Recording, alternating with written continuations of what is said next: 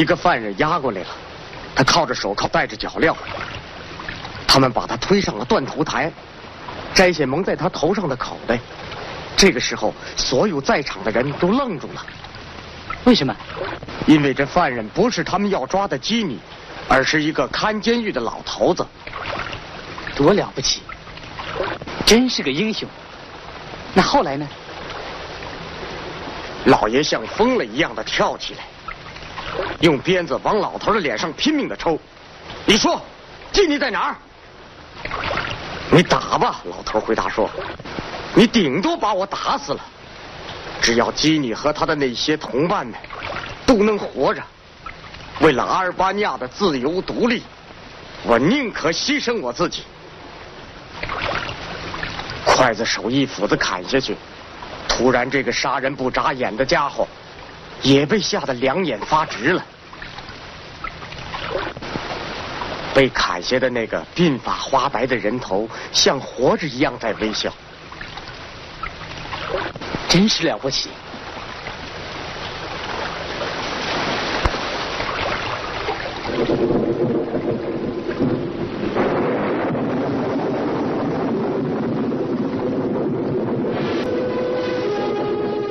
你们撒网，爸爸，你看天。你们杀好了。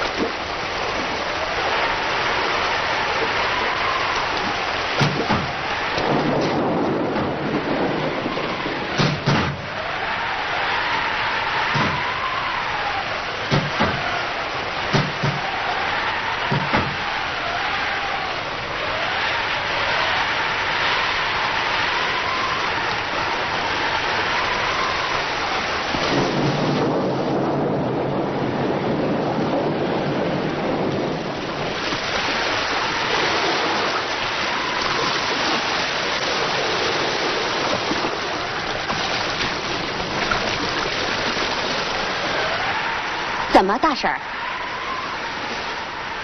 他们还没回来？怕出什么事了？别着急，大婶儿，他们会回来的。大叔是个老水手，他们还从来没有这么晚回来过呢。他们会去避风的，就会回来的。走吧，你放心吧。瞧你。都湿透了。这场该死的暴风雨，爹你和赛令也没回来，他们能上哪儿呢？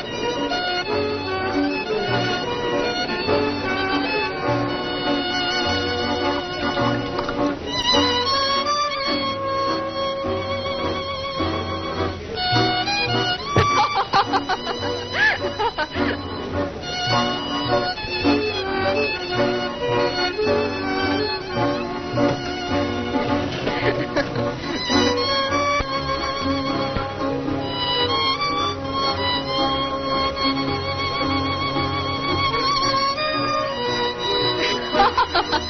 ha ha.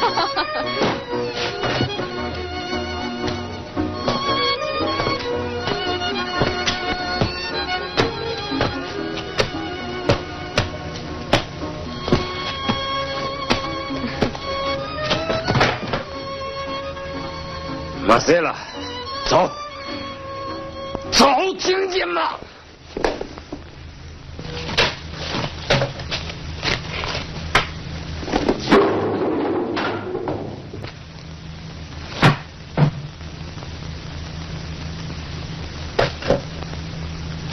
是你吗？干什么？你发疯了？冷静点，快回家吧。你该歇息了。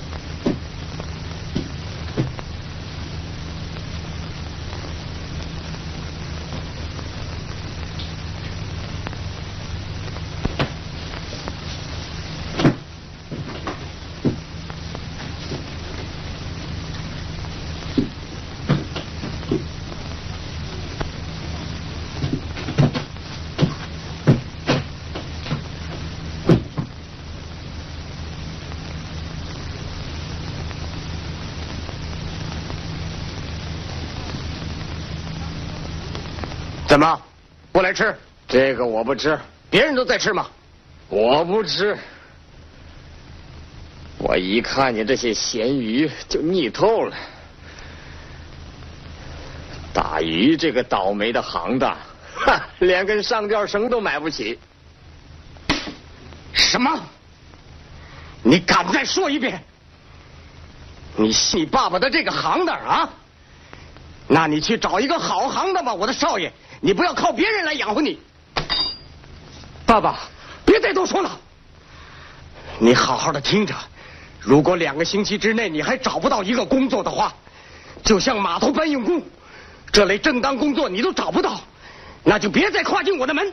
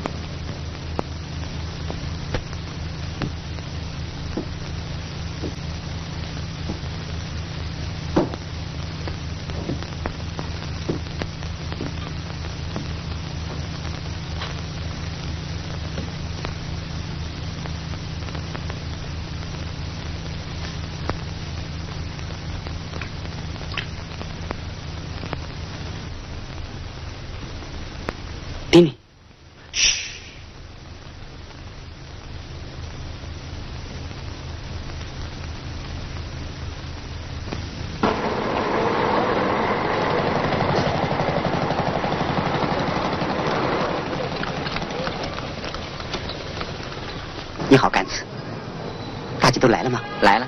那好。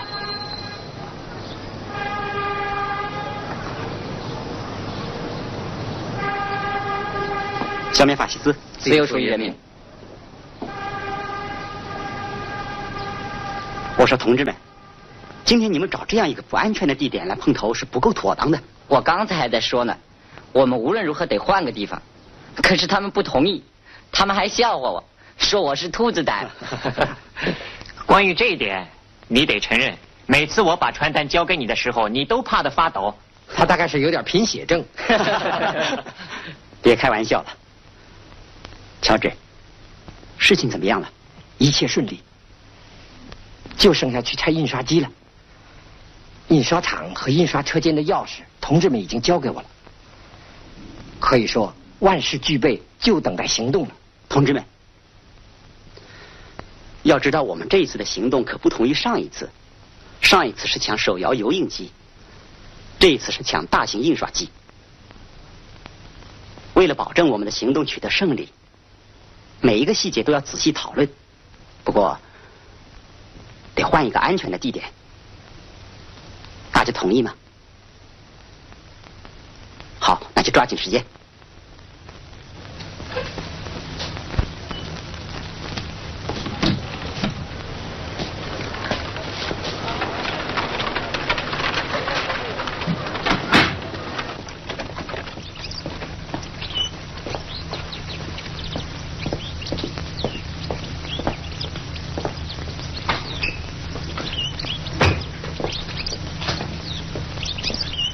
好，是不是丽莎？你来了，t 里，我妈等了你好久了。注射器煮过了吗？煮过了，大夫先生。你那包鼓鼓囊囊的是什么？是不是要显得你了不起？你提醒的好。这什么？给游击队的药品。你把包腾出来，要是这儿有传单，放点进去。以后你可不能这样大意了。我早料到你要训我的。好了好了，你给我妈打针去吧，我去给你把包准备好。你好点吗，人力不大娘？好点了，孩子。可是我还不能起床呢。你放心，过几天你就好了。你给我打的慢一点儿。人力不大娘，你相信我好了。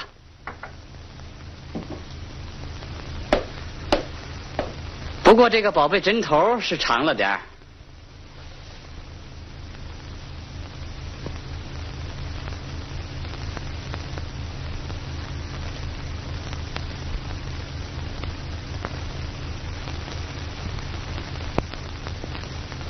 不疼吧？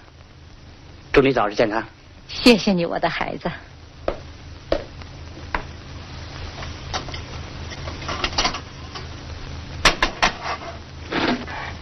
大夫，好了吗？好了，再见。再见。给你，别忘了我提醒过你的话。消灭法西斯。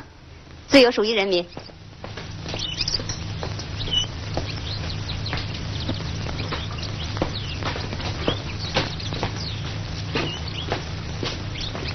碰到你太好了。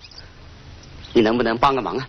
行啊，你到沙洲大叔家去，把他大车借来，晚上要用，别让人知道，懂吗？你把大车拉到小山那儿去。这下可高兴了啊！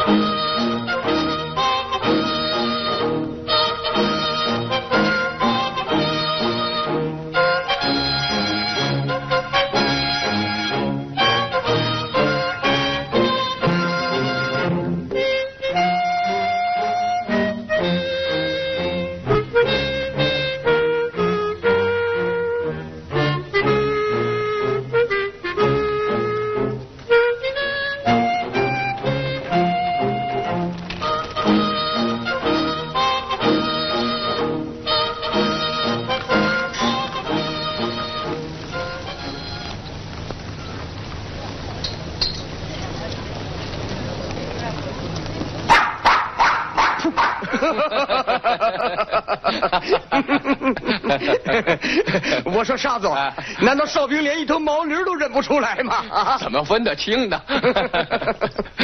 天那么黑，他刚觉得乱草堆后头有个东西在动，吓得就喊：“哎，站住！”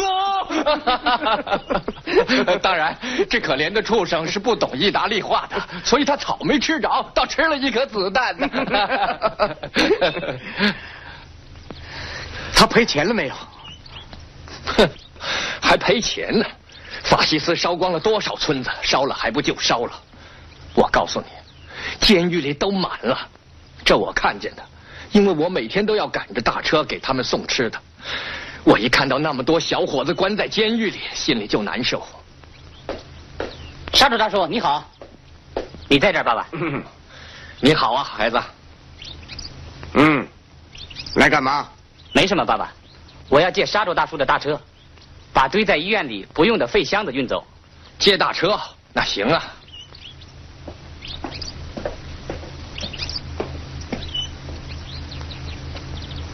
大车就在路边要不要我帮你套马？我自己会套。嗯。再见，爸爸。嘿。嘿。走。啊，大叔，差点忘了，给你。这是什么？我在门口捡到的。哦，那一定是电费单子。再见。呃，再见。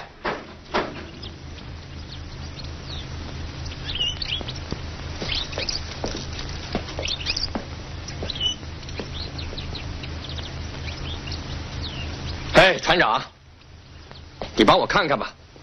你是知道的，我的眼睛不行啊。这许是张电费单子吧？你说什么，我的老弟？这是传单。传单？嗯哼。哪儿捡的？你儿子给的。他说他在门口捡到的。我看说不定就是他自己扔的吧。贝特里，可他还是个孩子呢。嘿，今天大家都在进行斗争，我的船长，大人孩子都起来了。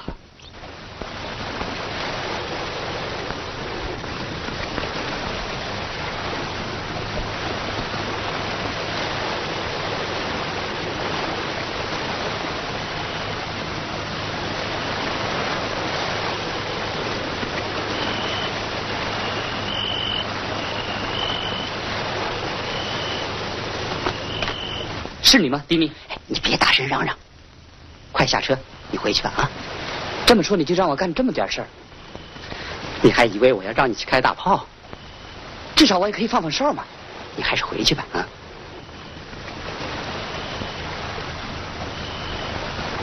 你已经干了不少了，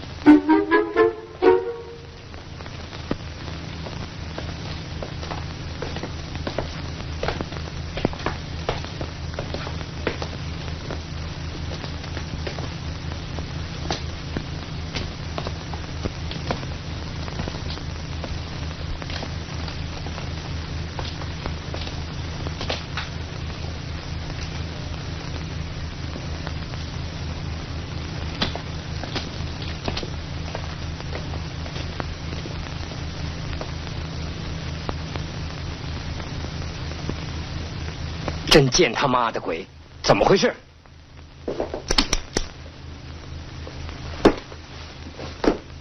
举起手来！快下来！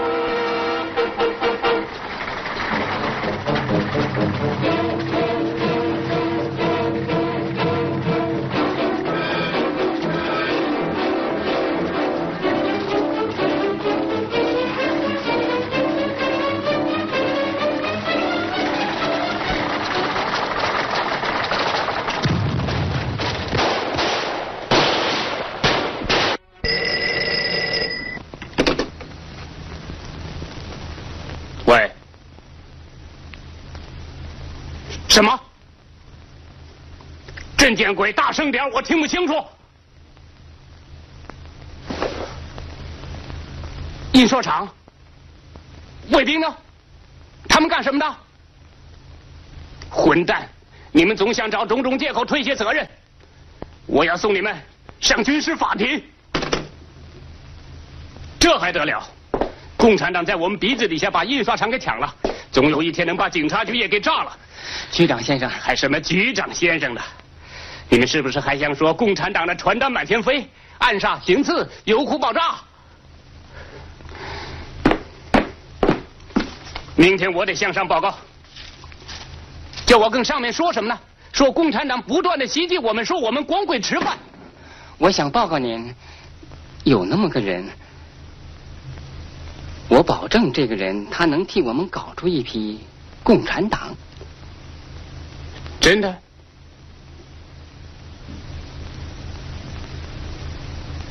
他叫什么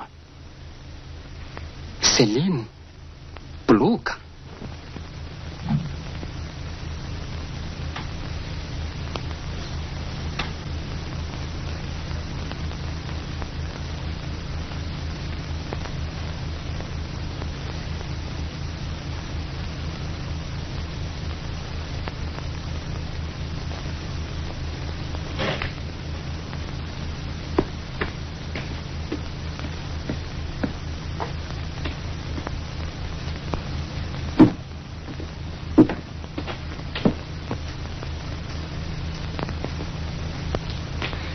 夜猫子可回窝了。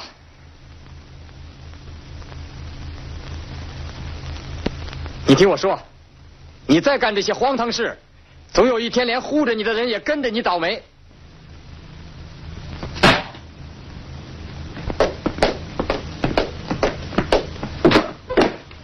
老婆子，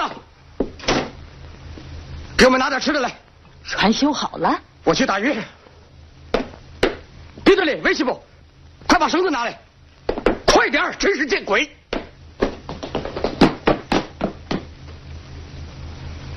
把渔网拿着。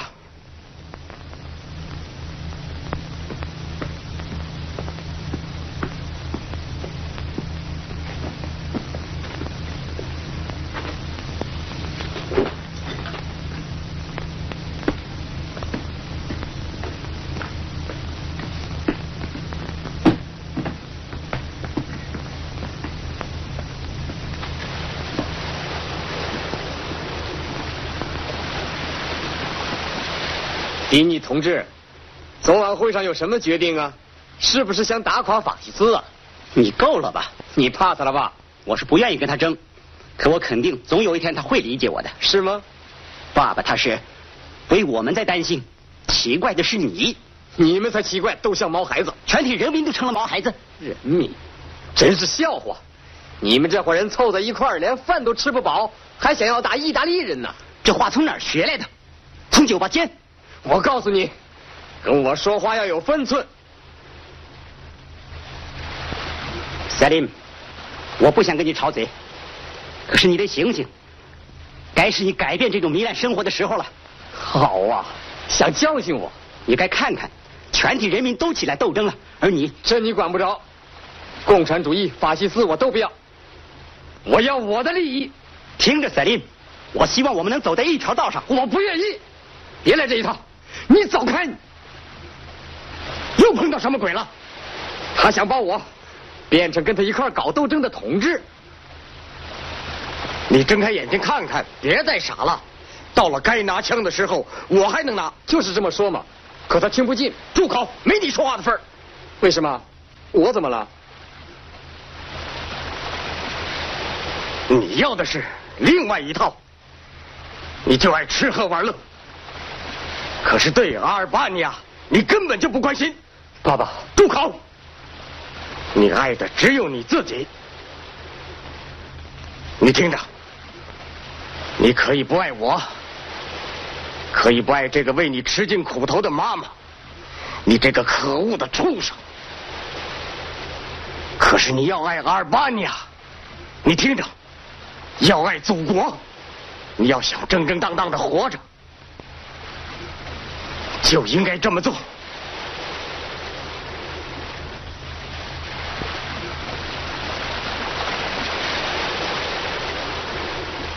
赛琳，咱们打鱼去吧。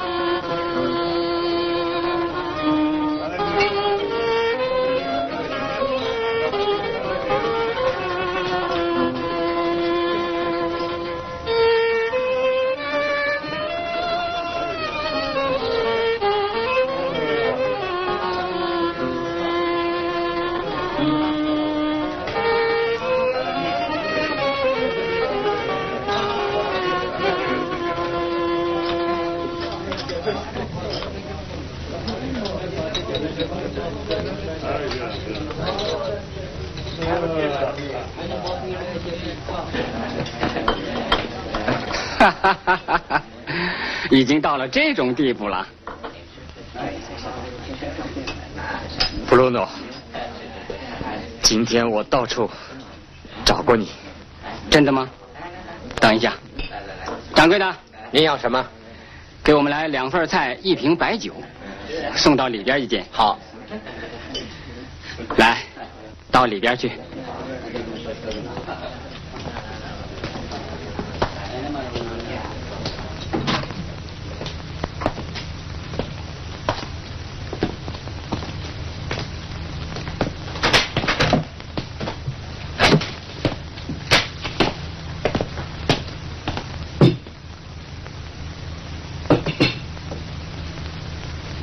您还要点什么吗，先生？暂时不要什么了。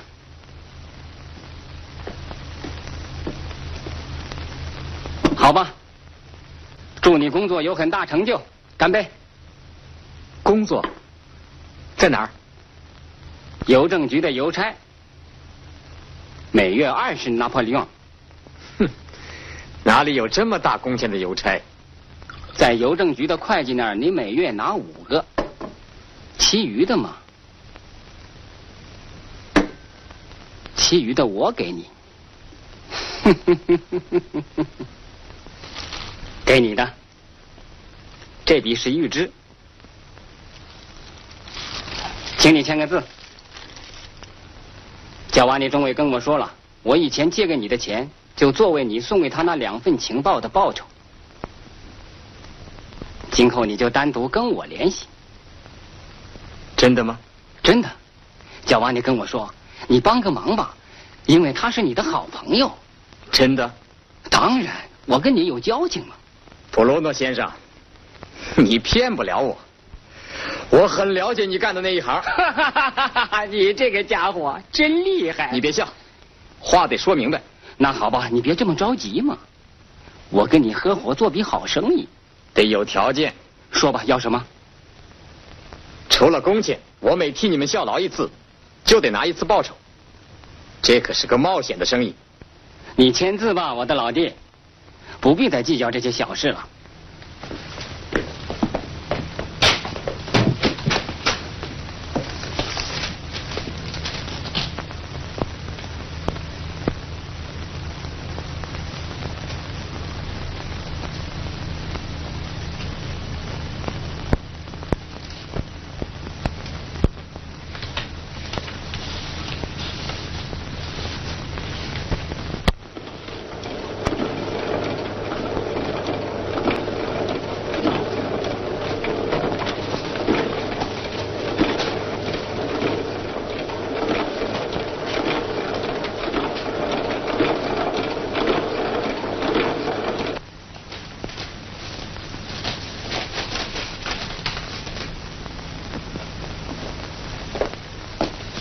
马利克，怎么样？可以。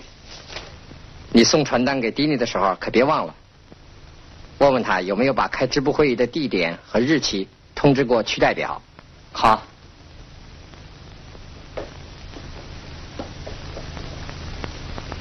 我现在最大的需要是睡觉。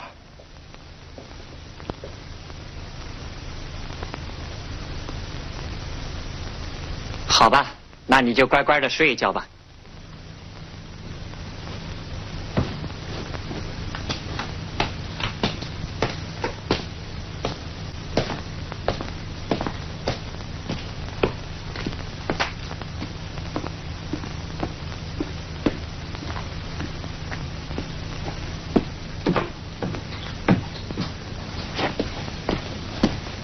您好，大婶儿。你好。迪尼在家吗？他出去了，有事吗？有东西交给他。就放在这儿吧。不了，我还有话跟他说。那好吧。再见。再见。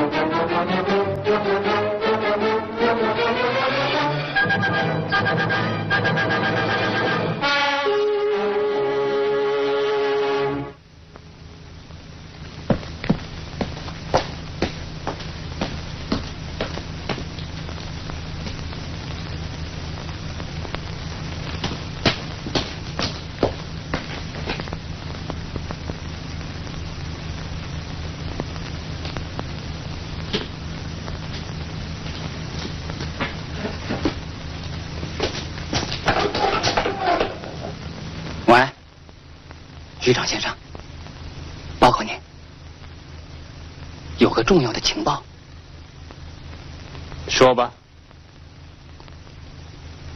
地点：Stanley 街，门牌三十八号。Spesa Duga。消灭法西斯，自由属于人民。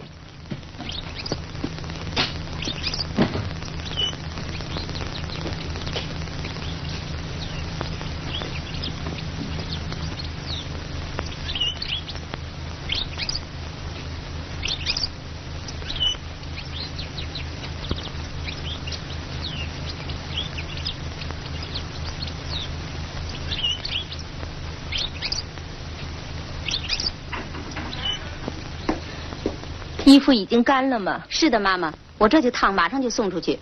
好的。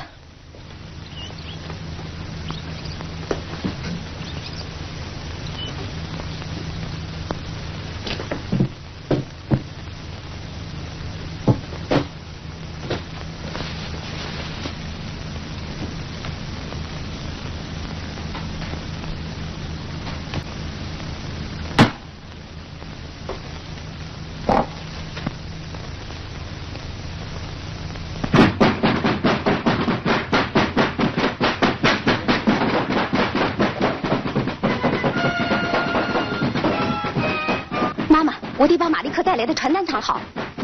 我不叫你开门，你千万别开。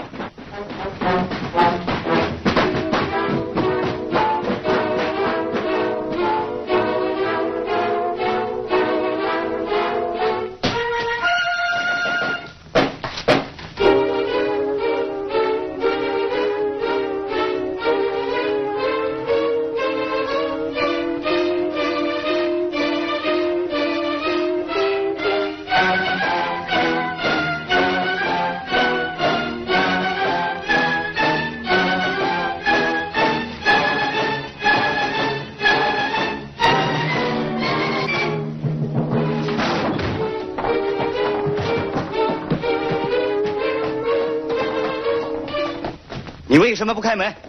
我在生病，我是从床上硬撑起来的。你骗得了别人，可骗不了我。妈妈，什么事？有什么可紧张的？基洛、马六，看住这姑娘，别让她跑了。是长官。你们几个给我里里外外的搜，要全都翻个个。是长官。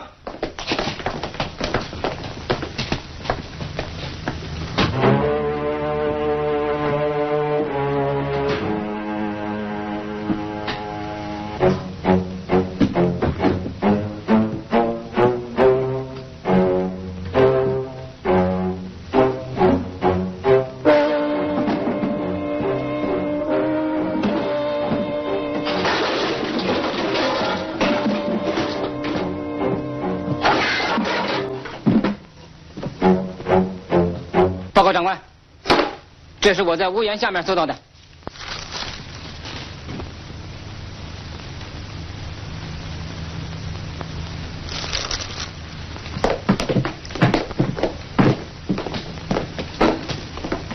小姐，我劝你放老实点，别再装模作样的了。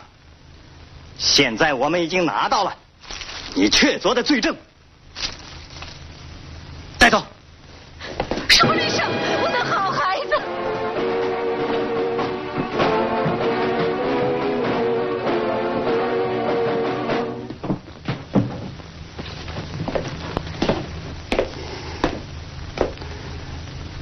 你得明白，我们的忍耐是有限度的。我可没那么多时间。你说，在哪儿印的？你们支部有哪些人？领导是谁？问你，你就得回答。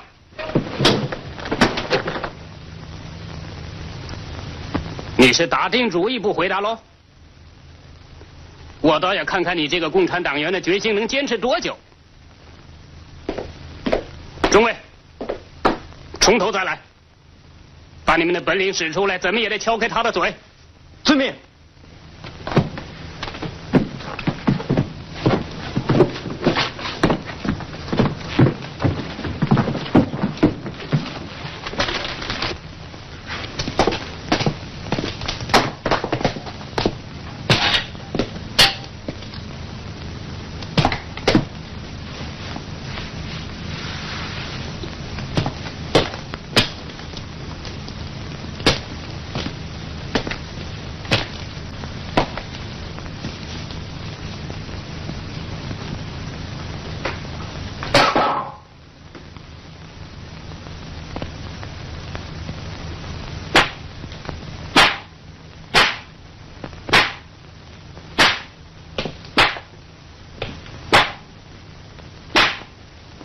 今天，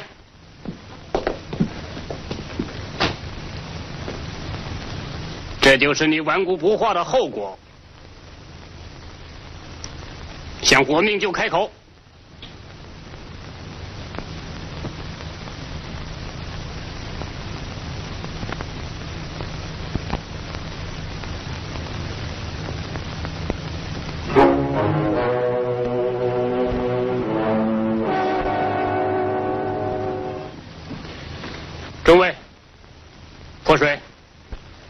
他醒过来再收拾他。遵命。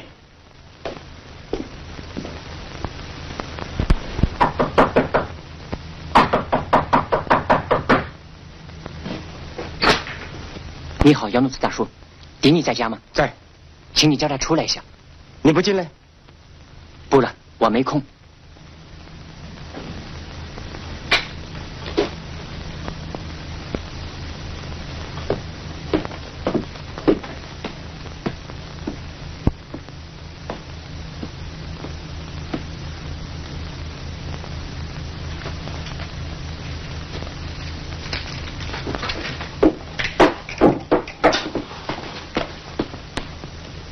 马里克，什么事儿？有要紧事跟你说。这儿不行。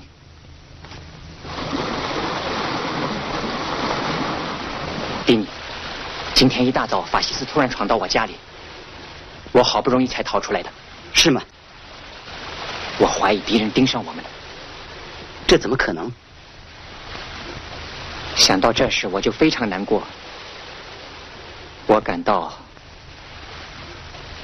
史普利莎，这不可能。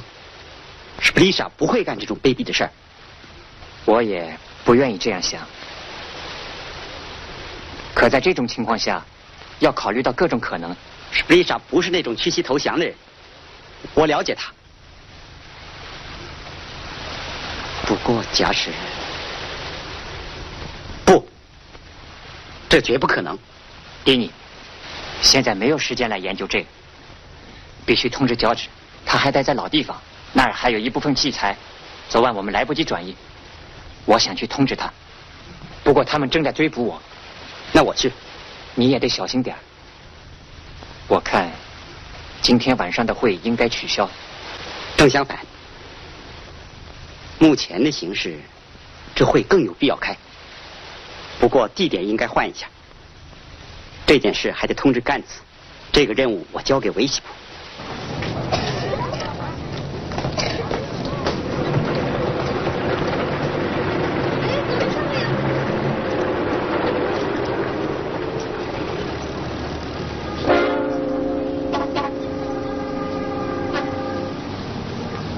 梅西普也是他们一伙的，我想不会。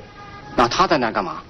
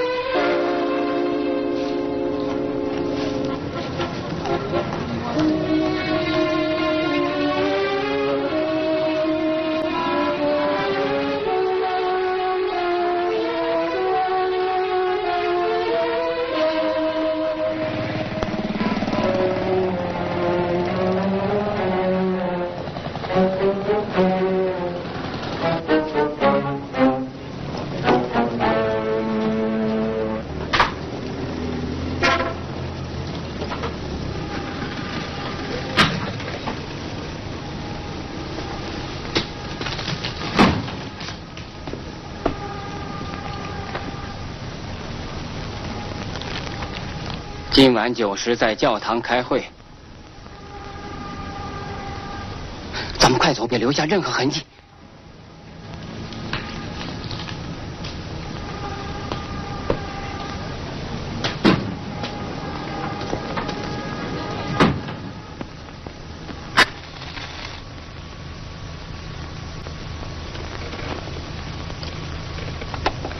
很好，你们的发现非常重要。尽管还不知道是什么样的会，去参加的是哪些人，不过新的内容给我们提供了开会的时间和地点的可靠情报。所以不能错过时机。你们要采取一切措施把他们包围住。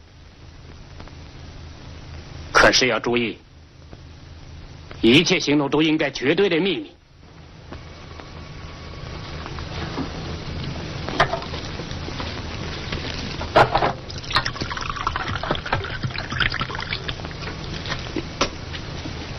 再添点吧。不了，我实在吃不下了，妈妈。我多盼望你能够跟大家一块儿吃顿饭呢。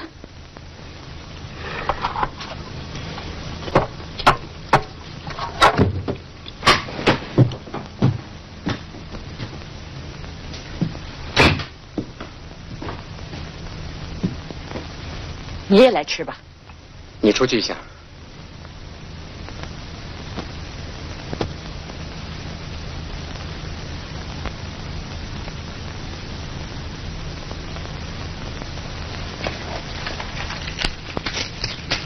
你怎么不说？难道我们就像敌人一样的对立下去？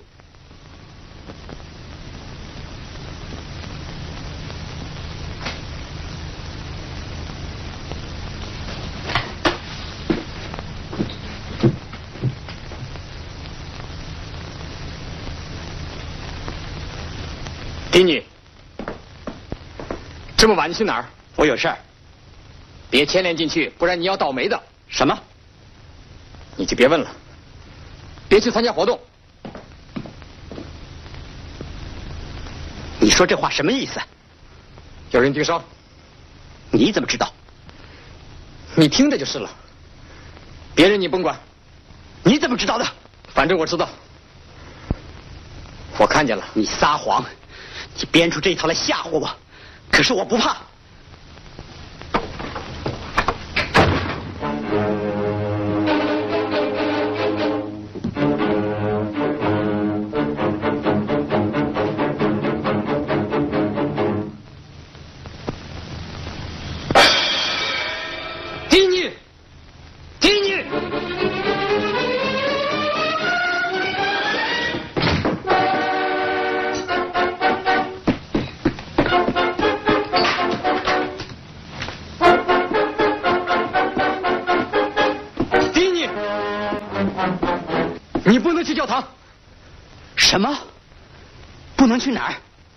你不能去开会。你去哪儿？我去哪儿你管不着。站住！你想去通知他们，你放明白点那些人别想跑得了。无耻！你想去通风报信，办不到。滚开！你给我滚开！你。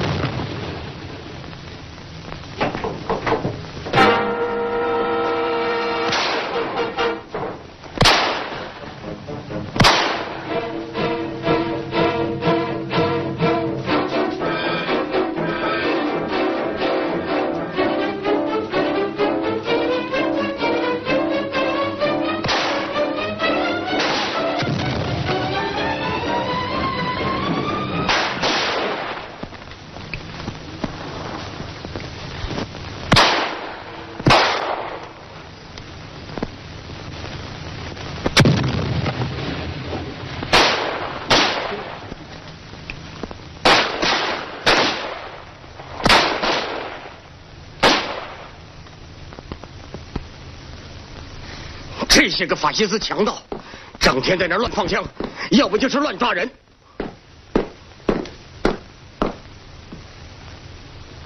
迪尼和塞利姆在什么鬼地方？不知道。老年人的话，他们就是不肯听。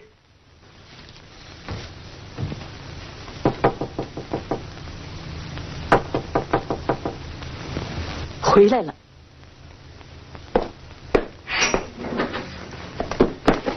彼得里，玛莉克，把药包拿来，再打盆水。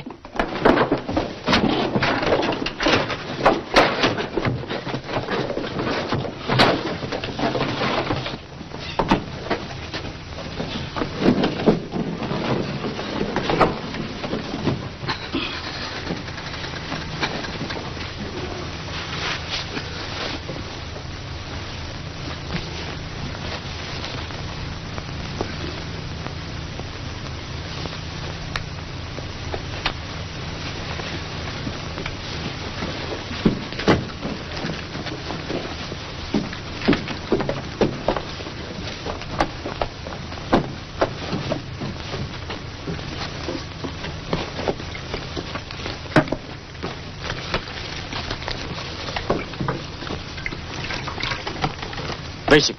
把窗户关上。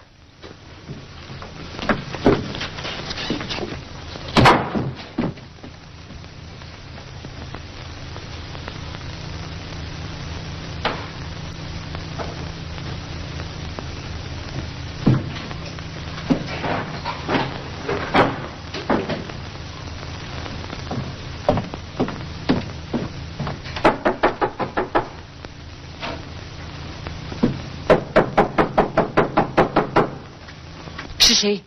是我，快开门！迪尼来过吗？没有。别进去！干嘛？什么事瞒着我？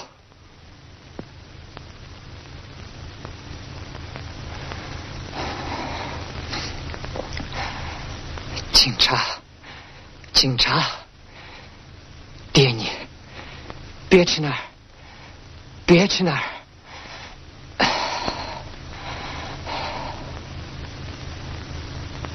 你去哪儿？你别管。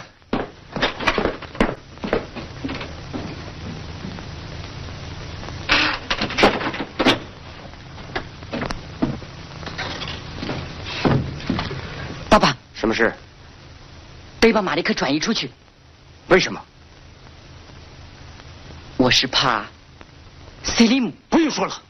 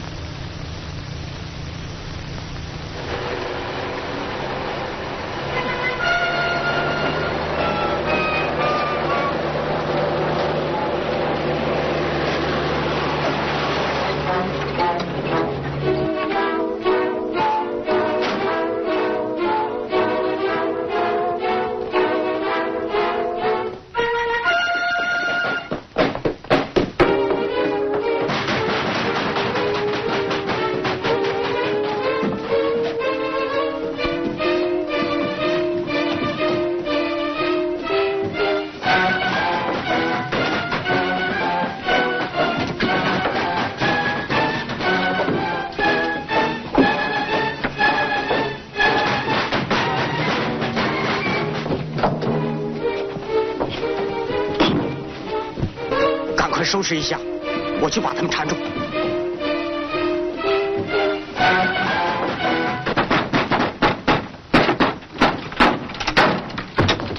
什么事，先生们？你就是姚鲁斯普鲁格？是的。你们家里窝藏了一个受伤的共产党员，军官先生，我们没窝藏人。听着，我再说一遍，你们家窝藏了一个共产党员，只要你把他交出来，就跟你没关系了。我也再跟你说一遍，军官先生，我们家里没窝藏任何人。我们的情报绝对可靠。那个受伤的人叫马里克，要不要搜查，长官？等等，那家伙跑不了。报告长官，我看见里屋有个缠着绷带的青年。真的？跟我来！站住！站住！谁敢进去？走开，要不我就开枪。你开吧，只要你的手不发抖。你还等什么？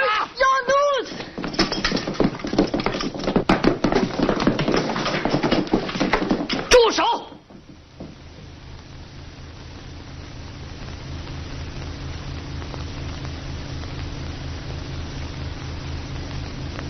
船长，共产党人是不会投降的。不过我要是再不出来，他们就会抓你们。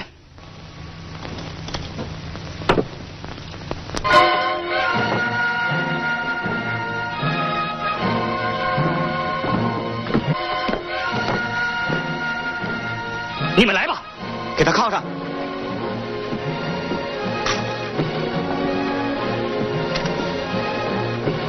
我永远忘不了那个老年人，他那被砍下的头像活着一样在微笑。带走。坚强些，船长。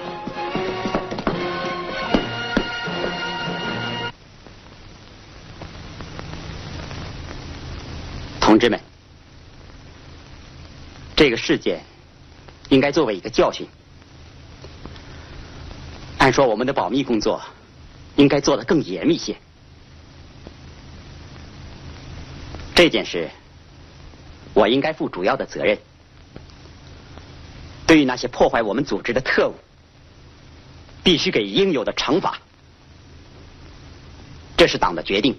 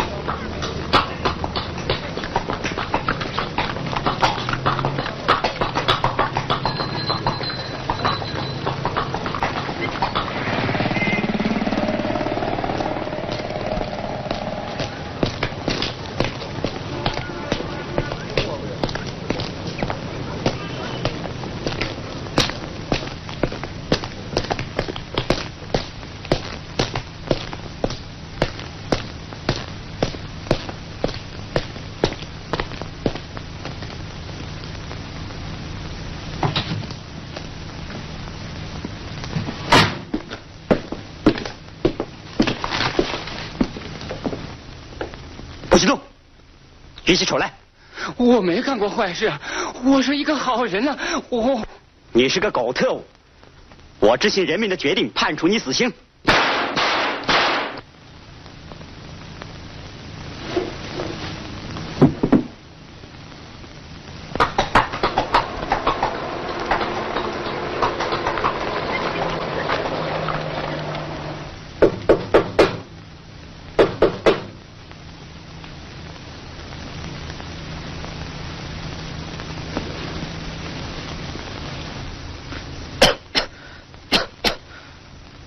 晚上好，晚上好。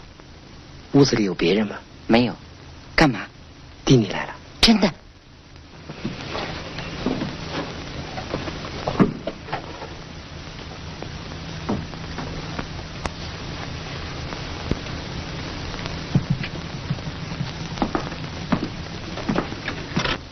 爹你。怎么？你病了？热度很高。不要紧的，有点不舒服。快躺下，躺下。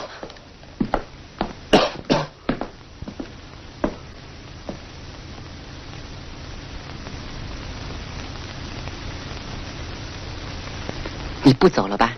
不，就得走。同志们在等着我。我在。家里只能待几分钟。怎么？就你一个人？爸爸去打鱼去了，妈妈到药房给我买药去了。告诉我，Salim，他回来过没有？自从出事以后，他再也不敢跨进家门了。狗东西！我们找了他好久，可是没找到他的窝。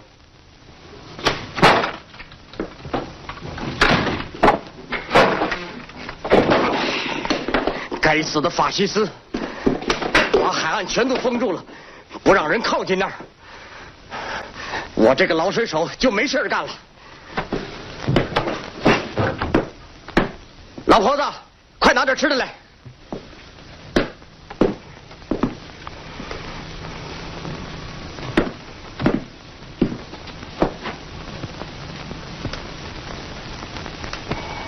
蒂尼，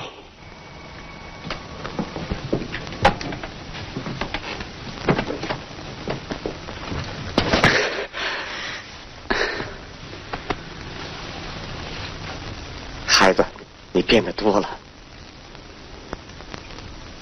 当然，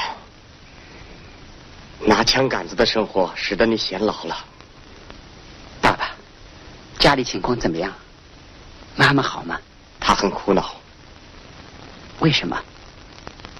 贝特利，我的小英雄，要被押解到意大利。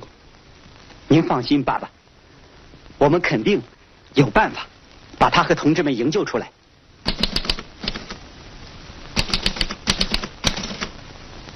法西斯野兽在阿尔巴尼亚共产党英雄儿女们的反击下受到致命打击。由于他遭到不断的失败。恼怒到了疯狂的地步，野兽们为了进行报复，要把我们一些优秀的同志押解到意大利去监禁。我们坚决粉碎法西斯的这一罪恶阴谋。消灭法西斯，自由属于人民。哼！他们还想重复那次蒂拉纳妇女示威游行的胜利，可这次他们打错了算盘。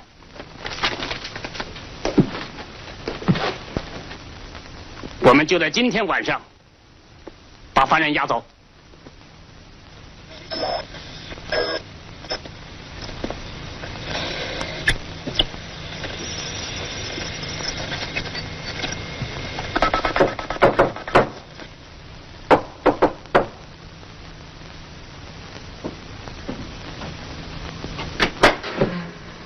听着，孩子们，刚才沙总说。法西斯要用卡车把同志们送到塞克湾，怎么准备到那里再上船？他们的路线要经过那座老桥，什么时候走？今天晚上。我们同志趁着卡车上有帆布棚子，这些狗东西提前行动了，我们要在路上截住他们。我们去西西监狱。等一等，同志们，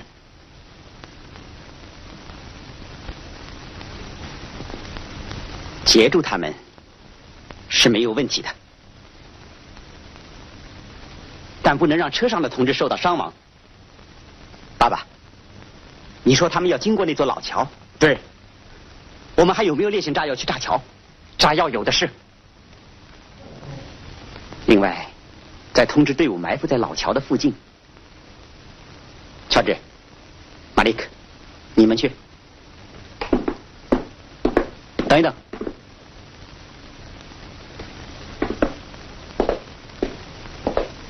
万一我们赶不到呢？不就把法西斯放过桥了？有一条近路，孩子。什么？我送你们从海上过去。等一等，爸爸。你，你爸爸等了很久了。小伙子们，别再耽搁了。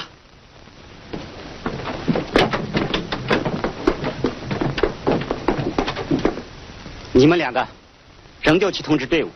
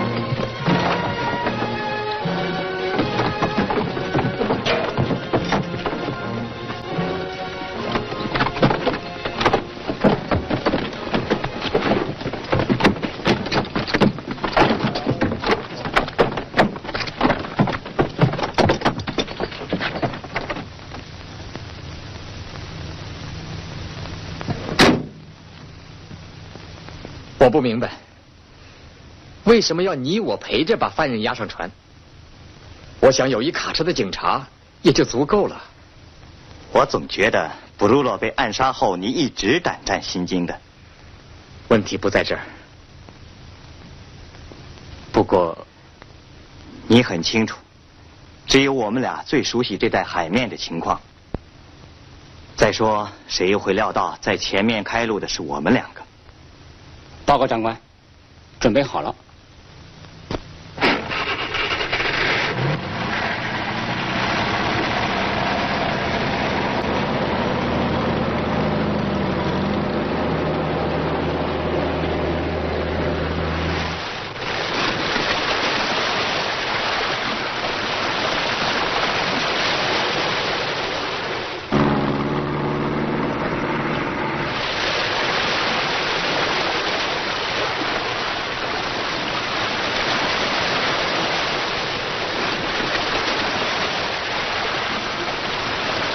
发现我们了，我们撒网吧，这不要紧，大家趴下。